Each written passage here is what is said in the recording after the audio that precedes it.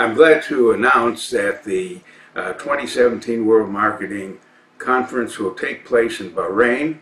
I'm looking forward to meeting you, and we're bringing along several top marketers to share their ideas on the new marketing and how to handle uh, di uh, disruptions that may come from other businesses.